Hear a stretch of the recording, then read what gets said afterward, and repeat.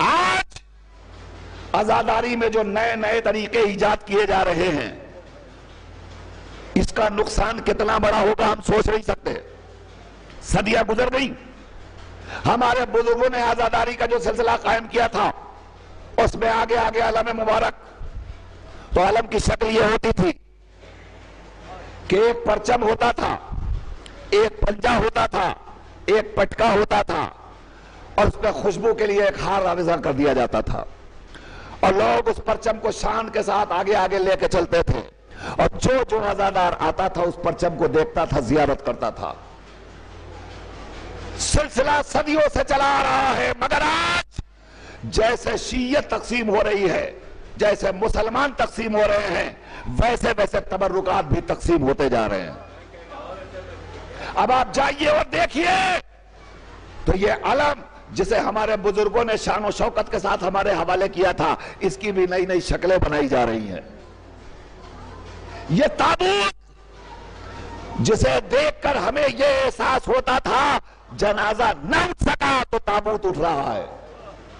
और इसे देखकर हमारी आँखों में आँसू आते थे। मगर आज शबी है ताबूत की शक्ल क्या है? अजीजों मैं जुमला कहने में मुझे कोई तकल्लुफ नहीं है। अब जो शबीहें बनाई जा रही हैं, वो देखने के बजाय उन पर से नज़रें फेर लेने का दिल चाहता है। मुमकिन है कोई कहे मुझे गुस्ताख तो मैं इस गुस्ताखी का इल्ज़ाम बर्दाश्त करने के लिए तैयार हूँ। मगर पहले सुनिए कि वाकई इन छवियों को देखकर मुँह फेर लेना चाहिए या नहीं। अभी हाल में एक छवि निकली है, जिस छवि के अंदर एक जवान लेटा हुआ है और वो जवान पूरे लिबास को पहने हुए और फकत कुर्ता पैजामा या कपड़ा नहीं पहने हैं, बल्कि उसके पैरों में जूता भी है। जूता पहनकर वो शबी में लेटा हुआ है और सब लोग उसकी जियारत कर रहे हैं। आप बताइए, इन शबीहों को देखने के बाद हमारी आँखों से आँसू निकलेंगे या बहते हुए आँसू खुश्क हो जाएँगे?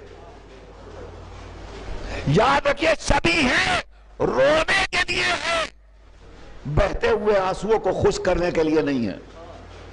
अकल से काम लीजिए, शऊर से काम लीजिए, आजादारी को आजादारी रहने दीजिए नई नई चीज़ें उसमें पैदा ना कीजिए। और मैं इस सिलसिले में बस एक बात और अर्ज़ कर दूँ, याद रखिएगा, ये ना कहा कीजिए कि सब लोग तो करते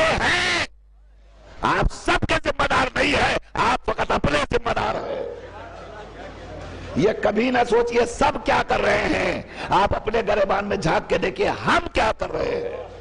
हमें क्या करना चाहिए? हमारी ज़िम्मेदारी क्या है? हमारा फरीजा क्या है? कितनी बातें मैं आपके सामने अर्ज़ करूँ? कितनी बातें अर्ज़ करूँ? आप सोच सकते तमाशा नहीं हो रहा है तो क्या हो रहा है? आलम मुबारक चल रहा है। कल तक आलम मुबारक पे सेहरा चढ़ाया जाता था। अब जो लड़का आलम को लेकर चल रहा है, उस लड़के के सर पे भी सेहरा बना हुआ है। आप गौर कीजिए, आप फ़िक्र कीजिए, आप सोचिए। क्या ये बातें शायान शान है आजादारी के? क्या ये बातें काबिल कबूल है? मुमकिन है किसी की नज़र में हुरमत का सबब ना हो ये बातें। मगर मैं इसे दुरुस्त नहीं मानता।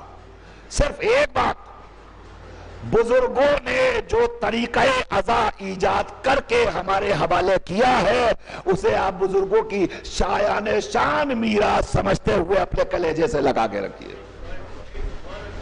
इसे न खुद मिटाइए, न दूसरों को मिटाने दीजिए। आजादारी को अदा बनाइए, रूह है अदा को बाकी रखिए।